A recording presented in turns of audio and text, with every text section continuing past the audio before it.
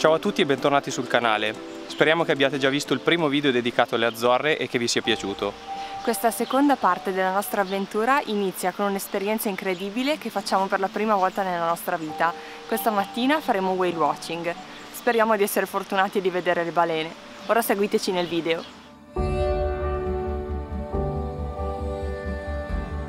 Ci svegliamo all'alba nel nostro appartamento, che ci ospiterà in questi ultimi tre giorni di viaggio.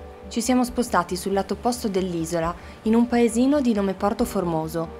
Siamo stati davvero fortunati a trovare questo alloggio. È meraviglioso, con questa vista incredibile sull'oceano, a 40 euro a notte, più o meno la stessa cifra che abbiamo pagato per il bungalow delle prime notti sull'isola.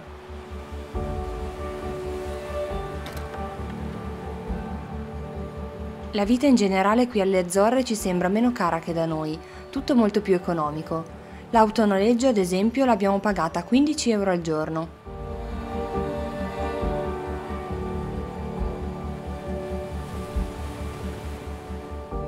Partiamo alla volta di Villafranca do Campo, la città da cui parte la nostra giornata di whale watching. Noi ovviamente speriamo di vedere i capodogli, gli esemplari di balena più comunemente avvistati in questo periodo dell'anno, le Azzorre sono uno dei più importanti santuari di cetacei al mondo. Qui ogni anno si possono incontrare ben 24 specie di cetacei, un terzo di tutte quelle esistenti. Dopo un primo briefing sulla fauna marina che potremmo incontrare, saliamo a bordo del gommone e partiamo. Sfrecciamo velocissimi in mezzo all'oceano e dopo qualche tempo la biologa e il capitano della barca ci avvisano di girarci verso sinistra. Un grande gruppo di delfini, precisamente di Stenella maculata atlantica, iniziano a nuotare intorno alla barca e a saltare fuori dall'acqua.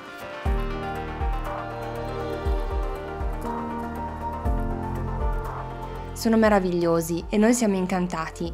Sono estremamente curiosi e si avvicinano per capire cos'è l'oggetto che hanno di fronte. Li sentiamo anche comunicare tra loro in modo chiarissimo. È un'emozione incredibile.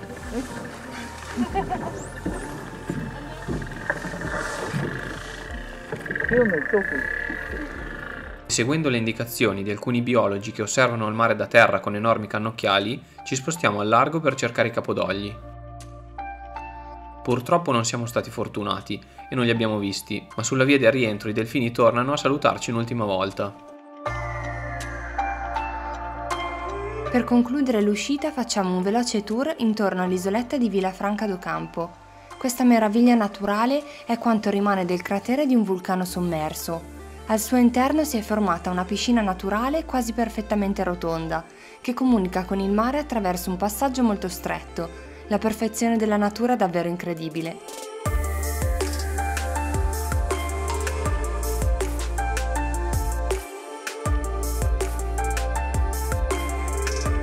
Rientrati in porto, ancora felicissimi della mattinata di nuove esperienze, scopriamo che proprio nella via di fronte al molo si trova la pasticceria che produce il dolce tipico della città, le quejadas. Non perdetevele assolutamente se passate di qui.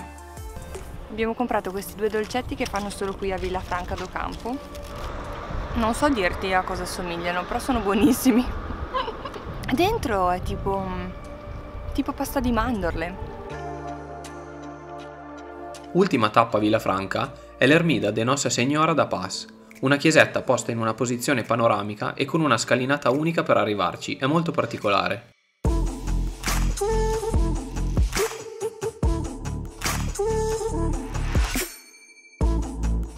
Ci spostiamo ora verso Ponta Delgada, la città più grande delle Azzorre. È molto bella e super natalizia. Le vie del centro sono forse le più addobbate che abbiamo mai visto. Stelle di Natale ovunque, luci e altoparlanti che diffondono musica natalizia. Da vedere assolutamente le Portas da Cidades, archi del XVIII secolo che indicano l'ingresso al centro storico. I pavimenti delle vie sono tutti decorati, ci sono un sacco di locali dove fare una pausa relax e si possono incontrare le confraternite universitarie che cantano canzoni tipiche delle Azzorre. Abbiamo adorato l'atmosfera festiva di Ponte Delgada.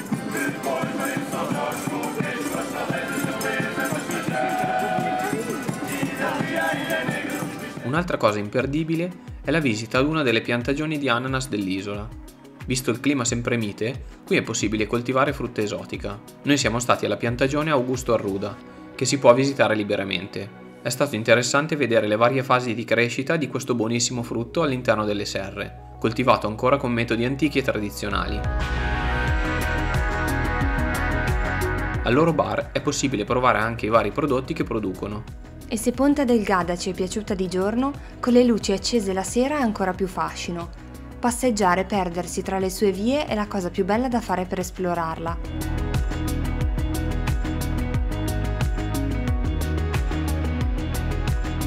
Per cena abbiamo deciso di tornare verso casa e di provare il ristorantino di pesce Mare Sceia, proprio di fronte alla porta del nostro appartamento.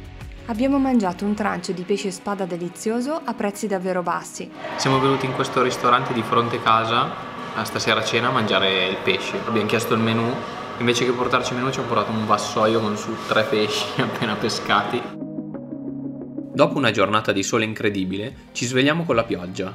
Visitiamo Furnas, paese costruito su un'area vulcanica ancora semiattiva. Come prima tappa abbiamo visitato le caldeiras che si trovano in centro al paese. I fumi che fuoriescono dai piccoli geyser si vedono già da lontano.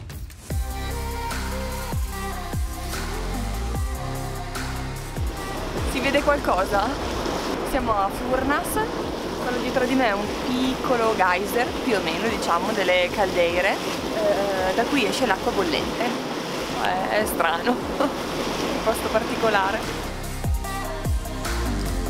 Ci spostiamo di qualche chilometro e in prossimità del lago das Furnas visitiamo altre caldere e delle fumarole sulfuree. Qui, grazie al calore del terreno e dell'attività vulcanica, viene preparato il cosido da Furnas, piatto tipico della città, a base di carne e verdure varie, cotto all'interno di piccoli pozzetti ricoperti di terra.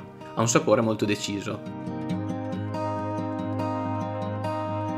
Dopo pranzo, sempre a Furnas, dovete assolutamente visitare il Parque Terra Nostra, giardino botanico davvero stupendo e curatissimo, forse il più bello che abbiamo mai visto. Stracolmo di piante, fiori, laghetti e angoli nascosti. È anche possibile fare il bagno nelle acque termali della gigantesca piscina centrale. Noi ci siamo persi nella bellezza di questo luogo, si cammina prima in enormi viali e poi in piccoli sentieri fitti di vegetazione. Ritagliatevi almeno due ore per visitare questo parco straordinario. L'ingresso, sia che facciate il bagno che visitiate solo il parco, costa 8 euro.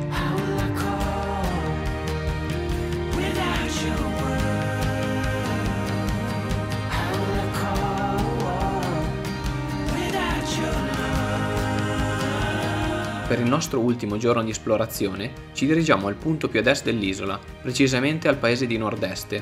Questo piccolo centro è tra i più pittoreschi dell'isola, grazie anche al suo bellissimo ponte con sette archi. Altro luogo da non perdere a nord-est è il Miradoro da Ponta do Sossego, in assoluto il più bello visto qui sull'isola di São Miguel.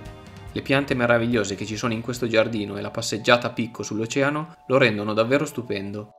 A pochi chilometri, se non siete ancora stanchi di punti panoramici e viste sull'oceano, trovate il Miradoro da Ponta da Madrugada, dove si è stabilita una piccola comunità di gatti.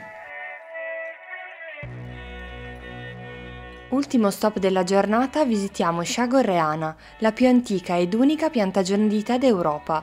Non potevamo perderci questo posto unico. L'azienda produce tè nero e tè verde dal 1883, utilizzando ancora oggi il metodo antico per la lavorazione. È possibile visitare la fabbrica gratuitamente, fare degustazioni e acquistare ovviamente anche i loro deliziosi prodotti. C'è un profumo di tè meraviglioso, fantastico. Proprio da Chagorreana parte un breve trekking di 3 km e mezzo che vi porterà a passeggiare in mezzo alla piantagione, immersi in una distesa di piante coltivate su terrazzamenti, che creano forme e figure geometriche bellissime e uniche. È stato incredibilmente suggestivo camminare in questa distesa di verde con l'oceano fare da sfondo perfetto.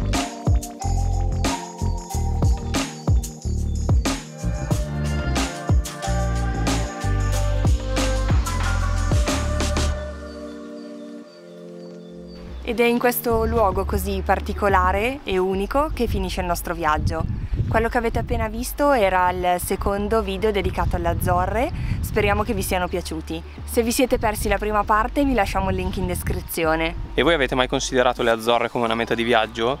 Scriveteci nei commenti qual è il luogo o l'esperienza che vi ha colpito di più in questi video. Per supportarci iscrivetevi al canale e lasciate un mi piace al video. E dato che questo video è l'ultimo prima di Natale, vogliamo augurarvi buone feste e ci rivediamo nel 2022. Ciao! Ciao! Ciao ciao!